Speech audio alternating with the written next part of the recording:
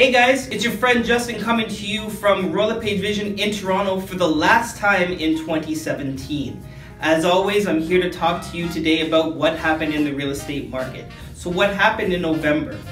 Well, we had about 7,300 sales across the board, and the biggest fall off on sales came from detached homes, and the biggest fall off on prices came on detached homes.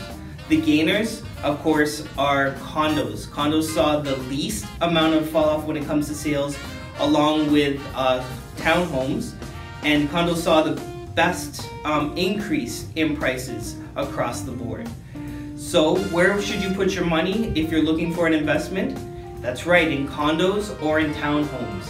And the government is pushing that point home coming this January by their um, tighter mortgage rules. It's pushing people to uh, basically qualify for less, so they're going to go for smaller homes or smaller properties, so they're not overextending themselves.